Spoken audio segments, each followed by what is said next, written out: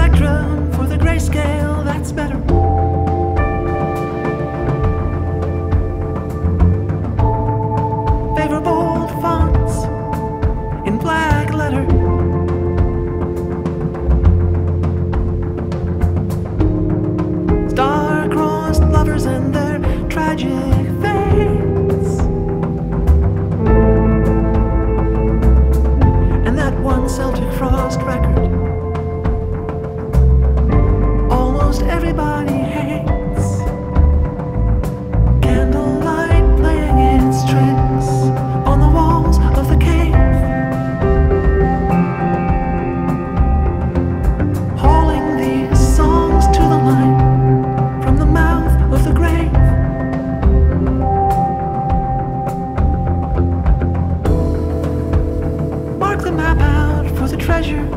don't say where.